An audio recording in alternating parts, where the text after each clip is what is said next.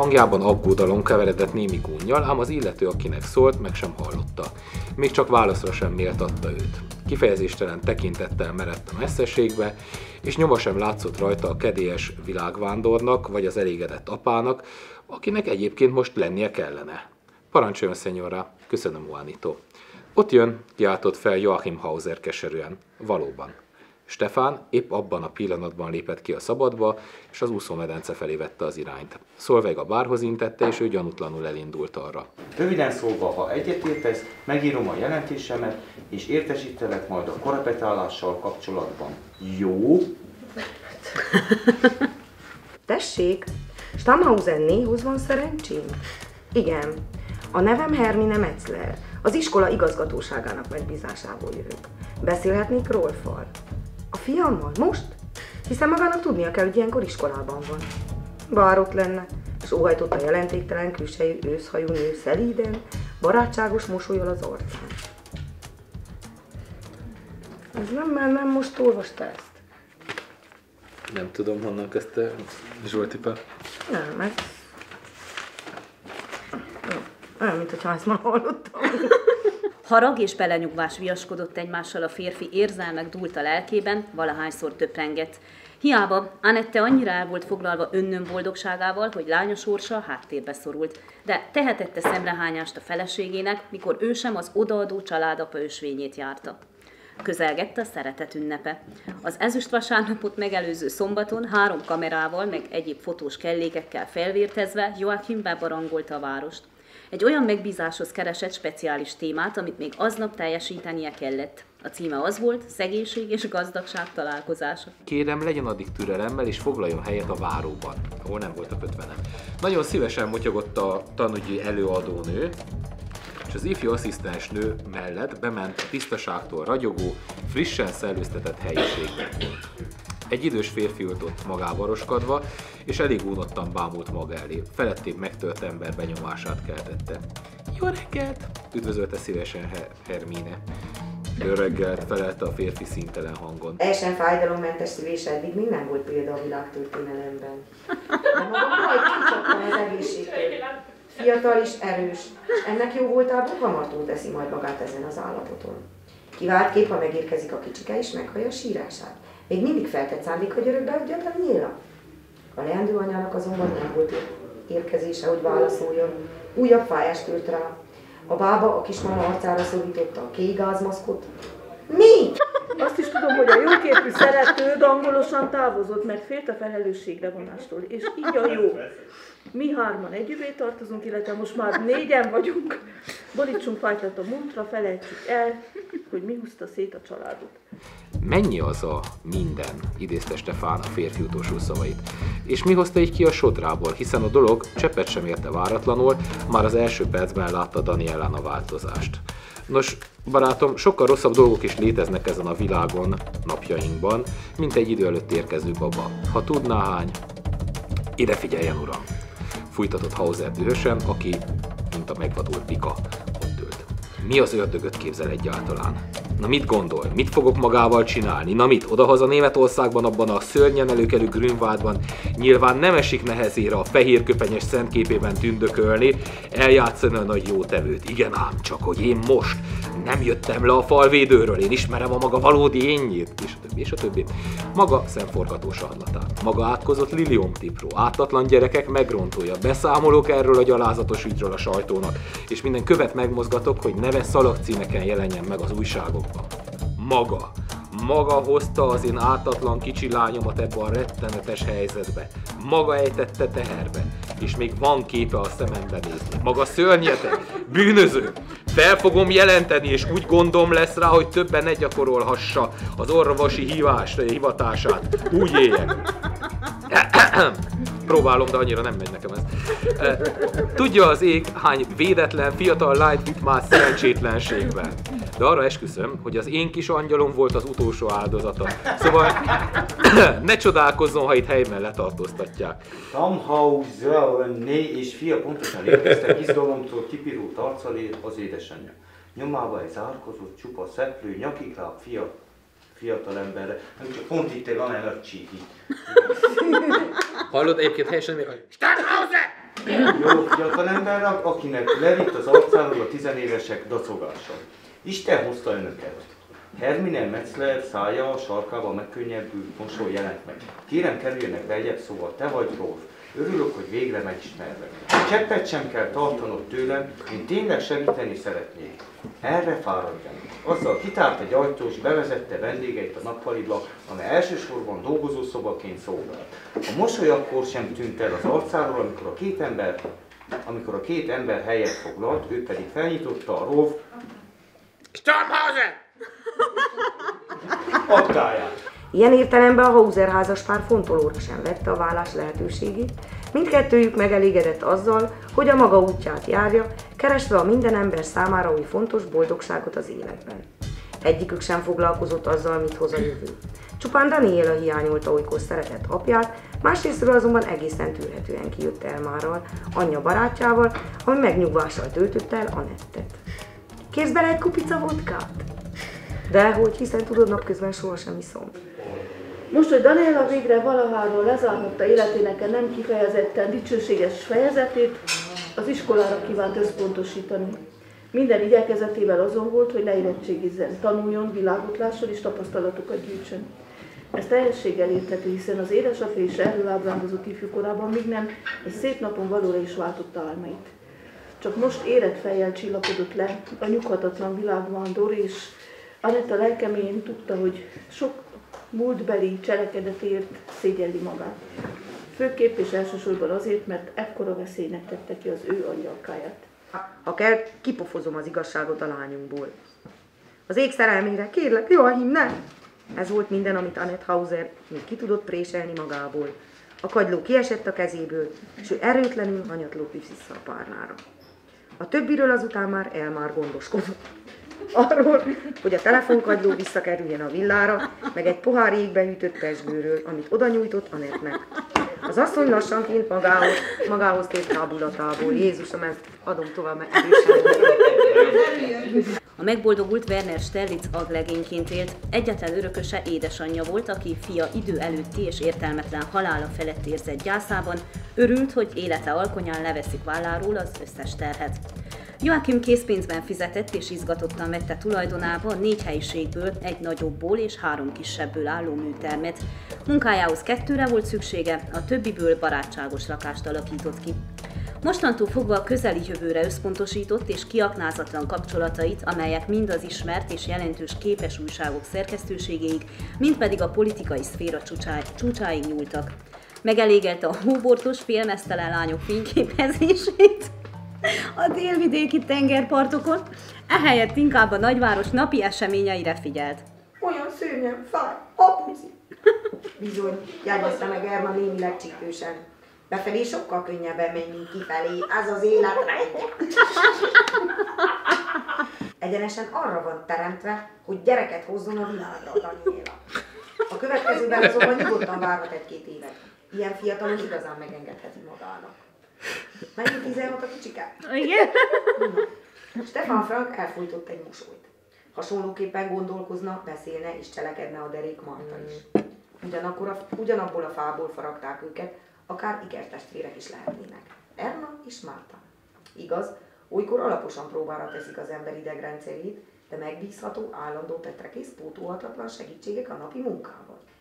Közben valaki észrevétlenül belépett a szülőszobába. Friss kávét és édességet hoztam a csapatnak. A dühödött apa gyűlöletének nyomatékot adva köpött egyet Stefán fehér vászoncipőjének orrára, majd sarkon fordult elvihalzott, nem mondta, hogy zsegosszul lett. Szolveg higgadtan háromig számolt, aztán lecsusszant a vászékről, és utána eredt. Ugyanannál a magas pálmafánál érte utol, ahol nem sokkal korábban megpillantotta. Egy szóra, Hauser úr. A hang megállásra késztette a férfit. Tessék. Az asszony bármennyire nehezére esett is, legyőtte a haragját, felindultságát. A sértődött dühött kirohanás méltán öm, tulajdonképp lehetett volna dühösebb. Akinek jó tanítomestere volt eddig az élet, az a legszokalatlanabb helyzetekben is megbirkózik a dolgokkal, miközben újra meg újra sikerült uralkodnia indulatain, és emelt fővel igazi dámaként kikerülni az emberi szenvedélyek okozta csatákból. Nem gyenge barokk körmondat. Most tetszeleg a szerepében, hogy védelmebe vegye a serdülő félben levő lányát. Irigylésre mérte a kislány, hogy ilyen erős, bátor apja van, aki azonban alaposan félre lett vezetve. Számos gyerek átél hasonló időszakot, szerencsére azonban az önök hamar ráébredt, hogy megfelelő iskolai végzettség nélkül nem, vagy csak kinkeserves bold, kinkeserve boldogul az életben. A gyakori hiányzás hátrányos befolyásolj, hátrányosan befolyásolja a tanulmányi előmeneteledet. Édes Istenem! Ha megbuksz, további nehézségekkel kell szembenézned. Ezek után elárulnád, miért lógsz már hetek óta a tanításról? Mert tény, hogy így van. Az osztályfőnököt jelentette ezt az igazgatónak, aki értesítette az iskolaügyi hivatalt. Ott megbíztak meg ott bíztak meg engem, hogy foglalkozzam az ügyel, és ezért ülünk most itt a hat szem közt. Az asszony jól esően, kélyesen nyújtózott, arcán elégedett mosoly látszott. Aki így látja, abban fel sem merül, hogy közel jár a 40-hez, különösen jön a jó nevű szépségfarmon tavasszal átéltett két hét után. Igen. Anett fiatalos feszes bőrrel, alaposan átmaszírozott izomzattal, új, fortéos technika birtokában, no meg az a fölös kilóktól megszabadulva tért haza a Bódenitóról, és örömmel tapasztalta, hogy barátja Elmár és kislánya Daniela olyan remekül kijöttek egymással. Apukám, papi, kiáltott fel. Joachim Hauser annyira jól ismerte azt a lágy, aranyos hangot, a gyermekét váró gyermek kislány hangját, de észrevette, hogy milyen alaktalan és csúnya a se színű téli kabátjában. Kicsi lányom mondta, annyira hiányoztál. Miért nem látogatsz meg bennünket soha? kérdezte a lány. Csak nem itt laksz Münchenben. De igen, itt vertem tábort, mondta a férfi. Alkalmam nyílt, hogy megvásároljam egy halálos balesetet szenvedett kollégám műtermét mindennel fel van szerelve, amire egy jó fényképésznek szüksége van. De mesélj magadról, mit csinálsz? Ugyan mit csinálnék, mondta Daniela. Torkig vagyok ezzel az úgynevezett áldott állapottal, és a végét várom. Jövő hétre vagyok kiírva, utána már nem leszek többé hordó, minden olyan lesz, mint régen. Mint régen? Persze, amint megszabadulok ettől, mutatott pocakjára, visszamegyek a suliba. Biztosan nem jöttem még ki a gyakorlatból, meg, ugyan, ugy, meg úgyis tenger sok időm van, és beledugom az orrom a könyvedbe. Ugyanolyan élőlények, akár csak mi emberek. Oda például éppen egy vörösbegyet ápolgató. Eltörött a pici lába, hát sint raktam rá a gyufából, hogy összeforjon. Meg fog gyógyulni, és amint előre kap, szabadon engedem, hadd repüljön vissza a saját világába. Olyan aranyosan néz rám, amikor beszélek hozzá, bezeg az apám legszívesebben, kitekerte volna a nyakát. Mivel halára idegesítette a csipogása. Tavaly egy sérült macskára bukkantam az utcán, elütötte az autó. Szegény jószág közele, közelebb volt a halálhoz, mint az élethez, ugye, anyam. De én meggyógyítottam, és most az egyik barátomnál lakik egy kertes házban. Gyakran meglátogatom, és képzelje, megismer. Komolyan? Szeplős fiú arca valósággal ragyogott beszéd közben tartózkodó magatartása egy csapásra megváltozott, a szürke szempár élénken csillogott. Derék fiú vagy prof, aki ennyire odaadón, odaadóan bánik e sérült beteg állatokkal. Mi van? Odaadóan bánik a sérült beteg állatokkal, ja igen. Egyébként minden más téren is rendben vagyok, fizikailag. Számtalan tesznek vetettek alá a klinikán, az orvosnő szuper, ha bár eleinte túl sokat kérdezett. Most azonban már tudja, helyesebben tudomásul vette, hogy úgysem válaszolok és békén hagy. Azt mondta nekem, sok olyan házaspár van, aki boldogan adoptálná a gyereket. Természetesen én magam választom ki a leendő szülőket, és azoknak adom a babát, akik a legtöbbet tudják nyújtani. Azt akarom, hogy a kicsi a legjobb kezekbe kerüljön, mert én nem tudom gondját viselni, de olyan nevelőszülőket kapjon, akik képesek erre. És te hogy vagy? Köszönöm, meg vagyok, és anyád? A világon semmi említésre méltó. Elmár buzgon töltögeti neki a márkás pesgőt, ő pedig igyekszik sminkel eltüntetni a ráncait. Megöregedni borzasztó, azonban ez a hosszú élet egyetlen módja. Ez a bölcsesség nem tőlem származik. Olvastam valahol. Barbie visszaöntötte a csészégül a forró italt a kannába, nem hogy kihűljön, és teljesen élvezhetetlenné váljon. Ezek a részletek. Ezek a kávé. De, de szül, és közben a csésze és a kávét. És a porcelán csésze. Porcelán. Danielát ágyastól kigurították az ügyetaltól. Joachim rendületlenül szorongatta a lánya kezét. Homlokáról patakokban folyt a veríték. Sem ő, sem szeretett angyalkára nem sejtették, mi vár rájuk. Abban a szent pillanatban, amikor Anett szólni akart, kinyit az ajtó, és Joachim sétált be rajta csomagokkal megpakolva, és olyan vidám ábrázattal, mint a jó öreg télapu. Noha már elmúltak az ünnepek, a férfi ajándékozó kedve úgy tűnt, nem csappant meg. Szia, Anett, szervusz angyalom, látogatói vannak? Daniela újfent bizonyítékát adta a belé nevelt jómódornak. Ez itt Spán úr és felesége, az édesapám. Sosem hallottam ezt a nevet a barátaidnak, nem kicsim. Nem, motyogta a lány kicsi határozatlanul. A gyereket szeretnék örökbe fogadni. Ez minden. A lányát elvakultan imádó apával van dolgunk, akinek emiatt még szemrehányás sem lehet tenni. Daniela bájos, elbűvölő teremtés, csak még gyerek. Pontosabban egy gyereket váró gyerek, és éppen ezért nem egészen beszámítható. Az sem elhanyagolható szempont, hogy a végeredményben cserben hagyták a szülei, és egy olyan helyzettel kénytelen szembenézni, amivel nem tud megbírkozni. Egy szó mint száz, ő nem tettes, hanem áldozat. Így, és csak is így szabad ezt felfogni, ezért a jövőben is segítenünk kell neki, nehogy végképp belegabajodjon a hazugságok maga szőtte hálójába. Az apa kiléte e pillanatban szerintem mellékes. A kislány viselkedése magáért beszél, azt jelzi, hogy képtelen zöldágra vergődni. Feltétlenül segítségre van szüksége Stefan, mégpedig a mi segítségünkre. Elmegyek hozzá, és megkérdezem, hogy egyáltalán képes-e továbbra is az apjával maradni. És ha nem? Ha nem, akkor magunkhoz vesszük. Utóvégre velünk jött ide, tehát mi tartozunk érte felelősséggel. De ez elrontan az egész nyaralásunkat, folytjan fel Stefan, a filantróp. Kábítószer fogyasztás, válaszolta habozás nélkül Ermár csukott szemmel.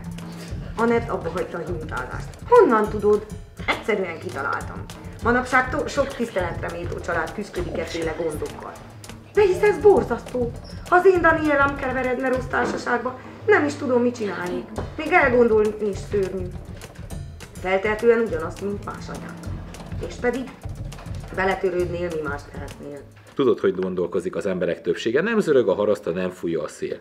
És én ezt egyszerűen nem engedhetem meg magamnak. Képzeld el csak mi lenne, ha a nevem ott díszelegne a címlapokon.